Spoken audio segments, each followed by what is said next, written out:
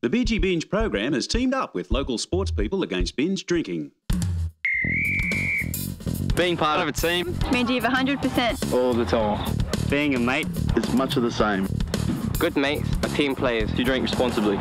Limit your drinks. know their strengths. Have water between drinks. Eat something and remember, if you're going to drink, be a mate. Know when enough Be enough.